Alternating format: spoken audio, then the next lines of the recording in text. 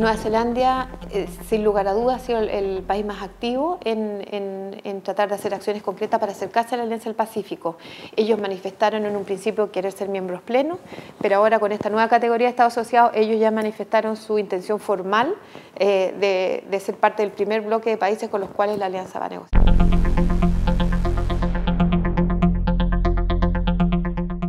Una muy buena noticia porque con los indios estuvimos negociando por muchos años y nos costó bastante poner en vigor este, este acuerdo de profundización del acuerdo de alcance parcial eh, por temas internos de India, no nuestros. Eh, pero la buena noticia es que el 16 de mayo pasado entró en vigor, eh, pasamos a tener desde 400 líneas arancelarias hasta más de 1.000 productos. Si sumamos ambas partes, son casi 3.000 productos que tenemos con preferencias arancelarias y entre los principales beneficiados está mucho de nuestro sector eh, agrícola, con lo cual estamos muy contentos porque la potencialidad de un mercado de ese tamaño para Chile es de suma importancia.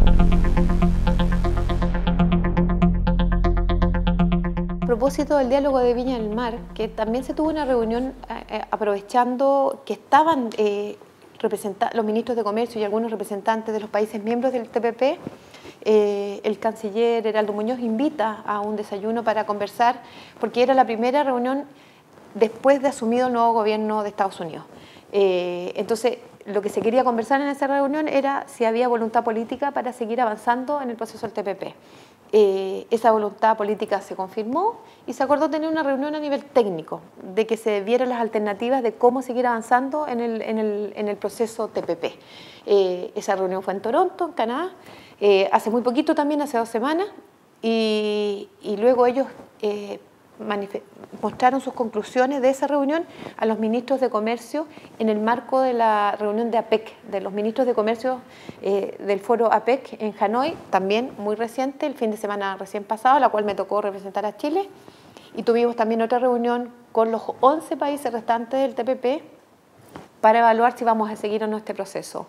Eh, se mostró, yo creo que hay varias conclusiones. Una, mucha unidad entre los 11, eh, un consenso de que todos quieren tratar de salvar un proceso que consideramos que es muy beneficioso para nuestro país en términos de crecimiento del producto, crecimiento de la exportación, en términos de empleo, en términos de nueva oportunidades comerciales, en términos del, aporte que va a tener para las pymes, para las mujeres, etc. y en esa línea queremos seguir trabajando y ver de qué manera este acuerdo, que no sabemos cómo se podría llamar, pero puede ser TPP 11, TPP, no sé, eh, queda lo mismo en esta altura, sino que ver qué parte de este acuerdo eh, podría seguir adelante, quizás el mismo, con algunas modificaciones. Esa evaluación la van a hacer los expertos. Hay una reunión en los próximos meses también que se espera que de aquí a la cumbre de líderes de APEC en noviembre, eh, este, este trabajo técnico lleve a recomendaciones para que los presidentes tomen la decisión en noviembre si deciden relanzar el proceso o simplemente esperamos hasta, hasta ver qué pasa. Hay algunos que países que consideran que sería muy beneficioso que Estados Unidos, darle tiempo a Estados Unidos para que volviera al acuerdo. Eh, hay otros que dicen que hay que dejar la puerta abierta, como Chile y como muchos, que, Estados Unidos puede volver cuando quiera, pero que no perdamos tiempo, es el momento es ahora, eh, para relanzar un, un proceso de esta naturaleza. Así que queda un trabajo técnico por hacer y en noviembre idealmente que los líderes tomen la decisión de si se continúa o no con el TPP.